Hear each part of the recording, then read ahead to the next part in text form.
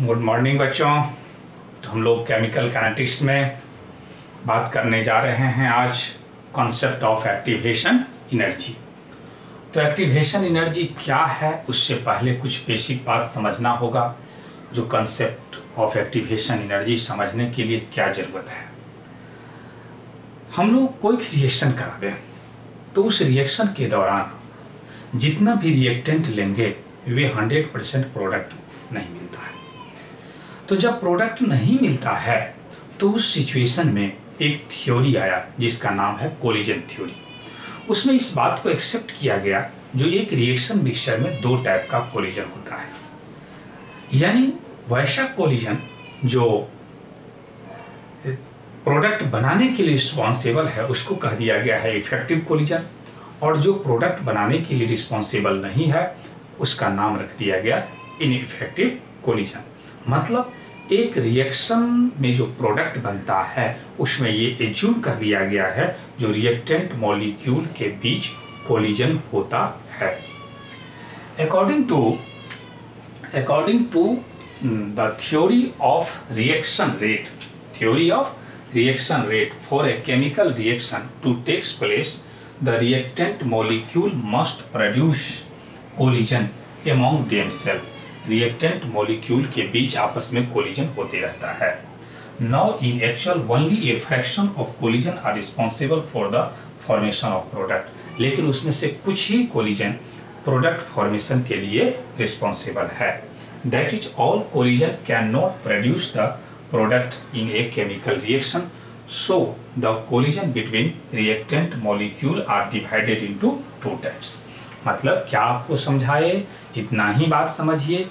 जो कोई भी केमिकल रिएक्शन हो रहा है, वे केवल और केवल रिएक्टेंट मॉलिक्यूल के बीच कोलिजन के कारण हो रहा है। और कोलिजन भी कितने टाइप का? दो टाइप का। एक का नाम इफ़ेक्टिव कोलिजन और दूसरे का नाम इनइफेक्टिव इफ़ेक्टिव और इनइफेक्टिव का टर्म क्यों आया? क्योंकि ये ऑब्ज़र्व किया गया प्रैक्टिकली जो जितने रिएक्टेंट लेते हैं, वे सभी का सभी प्रोडक्ट में कन्वर्ट नहीं होता है। इसका मतलब सभी कोलिजन प्रोडक्ट फॉर्मेशन के लिए रिस्पॉन्सिबल नहीं है। तो अगेन हम आगे बात करेंगे जो इफ़ेक्टिव और इनइफेक्टिव कोलिजन के बारे में। वीडियो को पॉज करें नोट करें। देखिए तो हम लोग कोलिजन को कितने भाग में? दो भाग में, एक का नाम इफ़ेक्टिव कोलिजन और दूसरे का नाम इनइफेक्टिव कोलिजन तो इनइफेक्टिव कोलिजन और इफ़ेक्टिव इफ़ेक्टिव क्या है? Effective collision are collision between reactant molecules which have energies equal to or greater than the certain minimum value. This minimum energy which must possess by reactant molecule in order to make effective collision that is led to produce formation in a reactant is called threshold energy समझे इस बात को यदि effective collision show करता है तो उस molecule के पास उतना कम से कम एनर्जी जिसके कारण वे प्रोडक्ट बना दें या एनर्जी मिनिमम से भी ज़्यादा हो, लेकिन रिएक्टेंट के पास ही हो। रिएक्टेंट का खुद का जो एनर्जी, यदि हम मान लिया जाए ए और बी दोनों रिएक्शन करता है तो दोनों के बीच कोलिजन होगा। यदि ये खुद के एनर्जी से प्रोडक्ट बना देता है तो जितना एनर्जी के कारण ये प्रोडक्ट बनाया, वे जो एनर्जी किस नाम से जाना जाएगा? थ्रेशोल्ड एनर्जी के नाम से जाना जाएगा। मतलब रिएक्टेंट के बीच कोलिजन हो। और कोलिजन में उतना एनर्जी प्रोडक्ट बनाने के लिए उसके पास ही है रिएक्टेंट के, पास ही है रिएक्टेंट का अपना ही एनर्जी है तो उस एनर्जी को हम किस नाम से जानेंगे? थ्रेशोल्ड एनर्जी आपसे ट्वेल्थ में स्पेशली पूछा जाता है, जो व्हाट इज़ थ्रेशोल्ड एनर्जी तो energy process by reactant molecule during the effective collision is called threshold energy इसी बात को लिखे हैं that is led to the product formation in a reactant in a reaction led to the formation product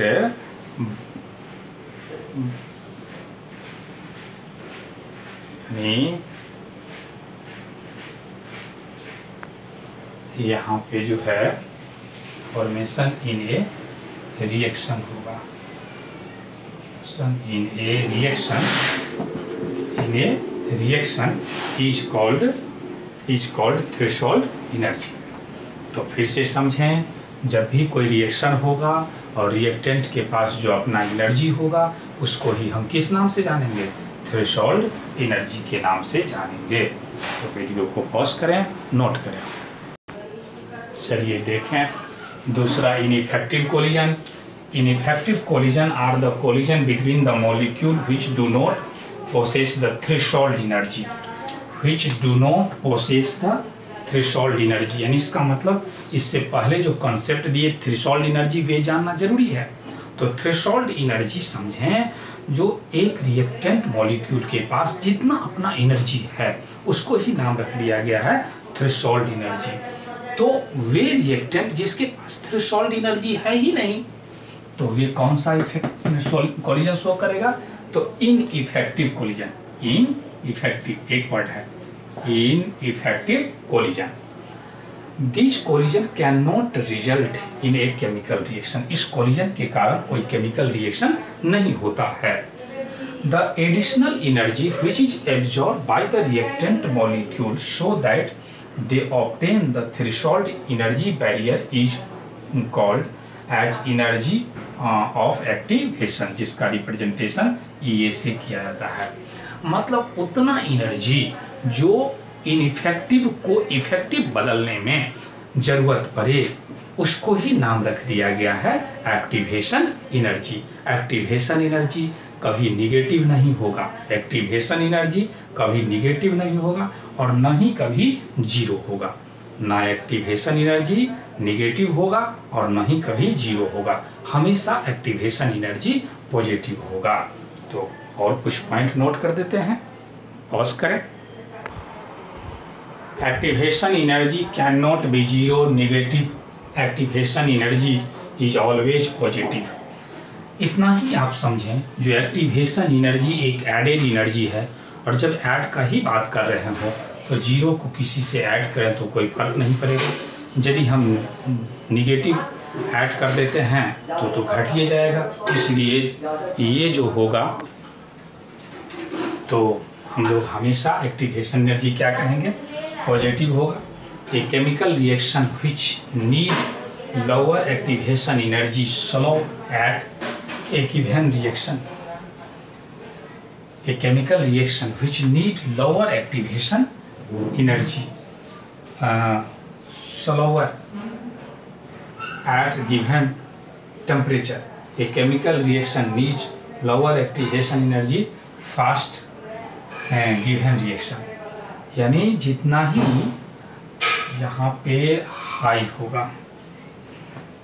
A chemical reaction higher activation energy जितना ही activation energy ज़्यादा होगा rate of reaction slow होगा और एक्टिवेशन एनर्जी लो होगा तो rate of reaction fast होगा।